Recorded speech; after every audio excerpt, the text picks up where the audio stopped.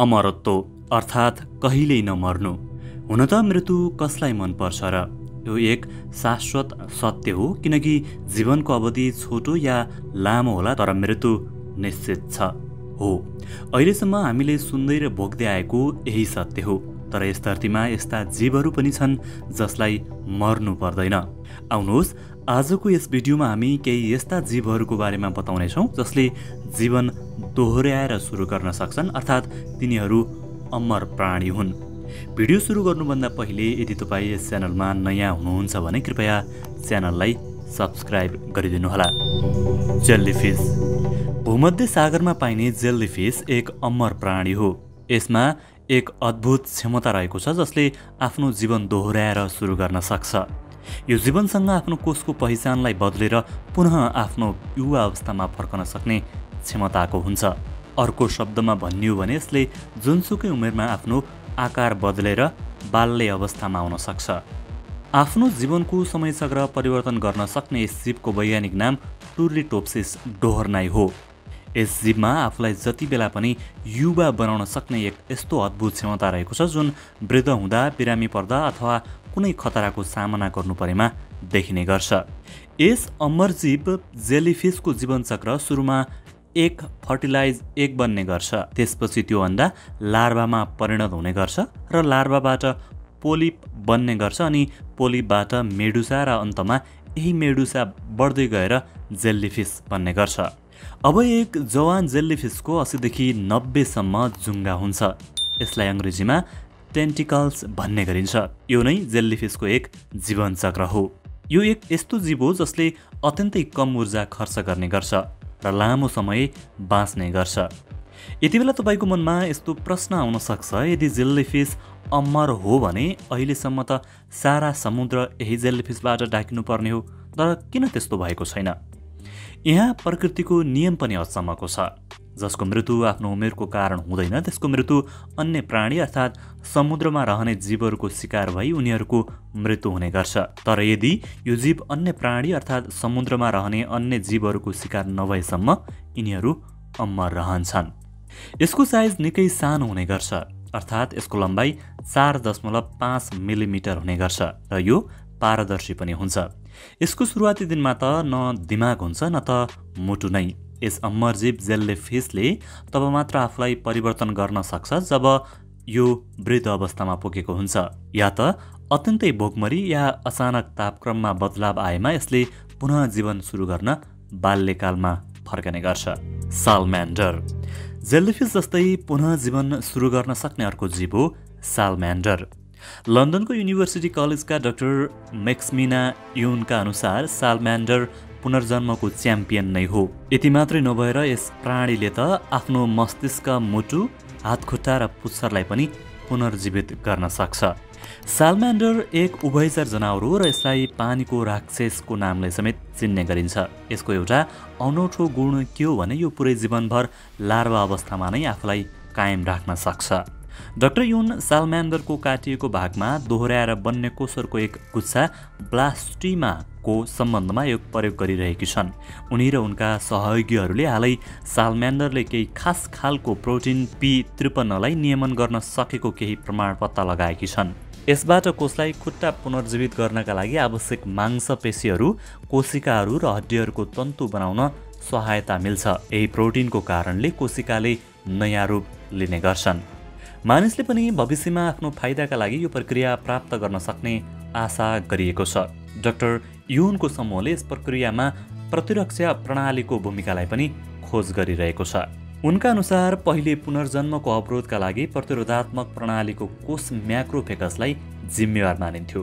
हाल आएर पुनर्जन्मका लागि यही नै सबैभन्दा जरुरी हुन्छ भन्ने पत्ता लागेको छ। टार्डिग्रेड अर्थात् वाटर बियर वाटर बियर नामले चिनिने सूक्ष्मजीव टार्डिग्रेड पनि अमर प्राणी मध्येको एक हो। यो जीव जङ्गल नदी समुद्र लगायतका सबै ठाउँमा पाइन्छ। यिनीहरूको लम्बाइ एक दशमलव पाँच मिलिमिटर र चौडाइ शून्य दशमलव एक मिलिमिटरको आसपासमा हुन्छ। टार्डिग्रेडको अर्थ बिस्तारै हिँड्ने भन्ने बुझिन्छ। सन् उन्नाइस सय सतहत्तरमा लजारो स्पालान्जानीले उक्त जीवको नाम टार्डिग्रेड राखेका हुन्। टार्डिग्रेडको आठवटा खुट्टा रहेको हुन्छ जुन अन्त्यमा पन्जा जस्तो आकारमा गएर टुङ्गिएको हुन्छ। यिनीहरूको मुख्य विशेषता भनेको फरक वातावरणमा पनि बाँच्न सक्ने हो। ध्रुवीय क्षेत्रहरूबाट भूमध्य रेखासम्मको जुनसुकै वातावरणमा जीवित रहन सक्छन्। हालसालै जीव विज्ञानमा प्रकाशित भएको एक लेखका अनुसार पृथ्वीको भन्दा हजार गुणा बढी अल्ट्राभयोलेट विकिरणले यो जीवमा रहेको क्रोमोजोमहरू पूर्ण रूपमा नष्ट पार्न सक्थ्यो। तर केही दिन पश्चात नै धेरै बाघहरू विकसित भएको पाइएको थियो। यिनीहरू माइनस दुई सय सत्तरी डिग्री सेल्सियसदेखि एक सय पचास डिग्री सेल्सियससम्मको तापक्रममा बाँच्न सक्छन्। भ्याकुम वा अनुमानित साठी हजार मिटर सामुद्रिक चापको पनि सामना गर्न सक्छन्। स्विडेनका अनुसन्धानकर्ताहरूले के विश्वास राख्छन् भने अन्तरिक्षमा कुनै पनि जीव बाँच्न सक्दैन किनकि त्यहाँ रहेको अल्ट्राभायोलेट किरणले डिएनएलाई मार्ने गर्छ यद्यपि केही जीवहरू आफ्नो सेललाई पुनः मर्मत गर्न सफल रहेको बताउँछन्। टार्डिग्रेडहरू आफ्नो मेटोबोलिजम प्रक्रियालाई रोक्न सक्ने भएका कारण पनि अमरत्व प्राप्त गर्न सफल भएका हुन्। क्रिप्टो बायोसिसमा प्रवेश गर्न टार्डिग्रेड्सले आफ्ना आठ खुट्टा फिर्ता लिन्छ र लगभग पूर्ण क्षमतामा डिहाइड्रेटेड हुन्छ।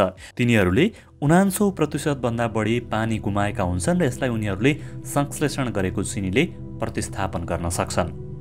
यस्तो अवस्थामा यी जीवहरूले आफूलाई एक सानो मैनको डल्लो जस्तो आकारमा परिणत गर्छन् जसलाई माइक्रोस्कोपिक ब्यारल भनिन्छ जसले गर्दा पानीबाट हुने नोक्सानीलाई कम गर्न मद्दत गर्छ र जब अनुकूल वातावरण आउँछ तब पुनः जीवनमा परिणत हुने गर्छ।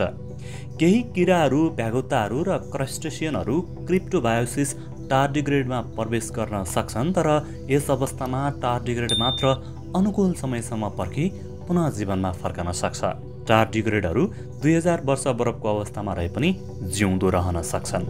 डाइकोस्टोलियम डाइकोडियम अन्य केही आश्चर्यजनक उदाहरण पनि छन्। धेरै एककोशीय अमिबा एकपटक मिलेर बहुकसीय आकार बनाउँछन्। अर्को शब्दमा उनीहरू परिवर्तनका लागि एकसाथ मिल्छन्। त्यस्तै डाइकोस्टोलियम डाइकोडियम खाना खोज्ने बेला एक स्लग बन्न एक आपसमा जोडिन्छन्। जब यो स्लग खाना भएको नयाँ सतहमा बस्छ तब यसमा दोहोऱ्याएर परिवर्तन हुन्छ। यसले पुनः एक यस्तो आकार लिन्छ जसले स्पोर्ट्स निकाल्छ। त्यसपछि आफ्नो जीवनको प्रक्रिया दोहोऱ्याएर सुरु गर्छ। यद्यपि केही जीवहरू मेटामोर्फोसिस अर्थात् कायान्तरका सहायताले एक नयाँ आकारमा बदलिन्छन्। यसको सबैभन्दा राम्रो उदाहरण क्याटरपिल्लर्स हो जसले क्रेसालिस बनाउँछ र पछि पुतलीमा बदलिन्छ यति कुरा सुनिसकेपछि तपाईँका मनमा के मानव शरीरमा पनि पुनर्जन्मको सम्भावना छ त भन्ने जिज्ञासा आएको हुनसक्छ। यदि मानिसका सन्दर्भमा यो प्रक्रियालाई ख्याल गऱ्यौँ भने के हामी पुनर्जन्म लिन सक्छौँ? केही हदसम्म हामी यो अहिले नै गर्न सक्छौँ। जस्तै पोलेको चोट लागेको र घामले पोलेको छाला आफै ठिक हुनु यसको सङ्केत हो।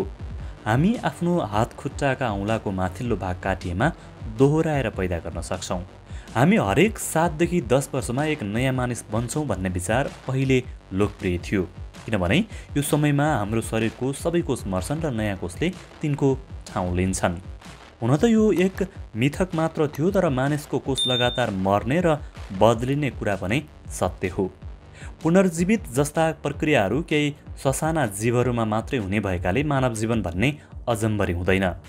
हाम्रा लागि मृत्यु एक सत्य हो जन्म र मृत्युबीचको भाग नै जीवन हो र मृत्युसँग डराउनुभन्दा पनि बाचुन्जेलको सत्यतालाई कायम राखी जीवनमा खुसियाली भरेर भव्य र सौहार्दयुक्त सकारात्मक जीवन बाँच्न सक्नुपर्छ।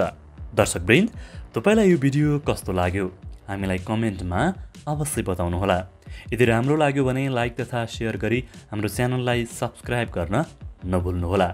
साथमा रहेको बेलायकन पनि थिच्नुहोस् ताकि हामीले अपलोड गर्ने भिडियोको जानकारी सबैभन्दा पहिला तपाईँलाई प्राप्त होस्। अहिलेका लागि बिदा दिनुहोस्। नमस्कार।